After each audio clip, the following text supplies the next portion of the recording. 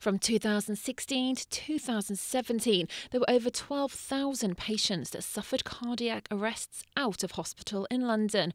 Resuscitation was not attempted on more than 50%, as the patient died before an ambulance was due to arrive.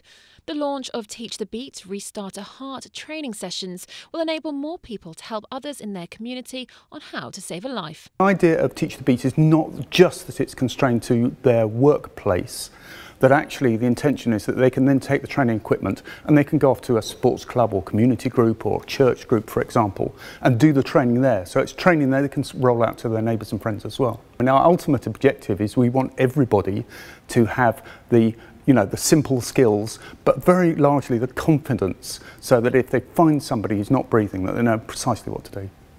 Steve was on a treadmill at the gym when he suffered a cardiac arrest.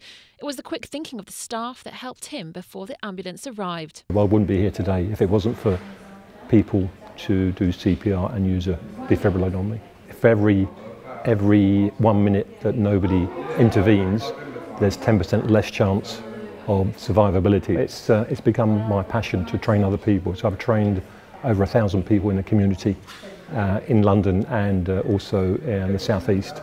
So it's absolutely my passion. If I can, if I can just save one life, then it makes it all worthwhile. Getting a call to say a footballer wasn't breathing isn't an everyday occurrence, but thanks to the training given by the London Ambulance Service, Ashley was quick to respond. At the time, it was there was a thousands of emotions going through my head from what am I going to do? I cannot do this. Judging yourself, but then once you got to got to it, it all just kicked in, and training just took over there. And then it was such a surreal feeling of obviously like this guy's life is in my hands at this moment in time. So it was just keep doing what I've been told to do over the years, and um, just keep on with it until the ambulance got there. London Ambulance Service hopes that these life-saving skills will be put to use to help people in the capital.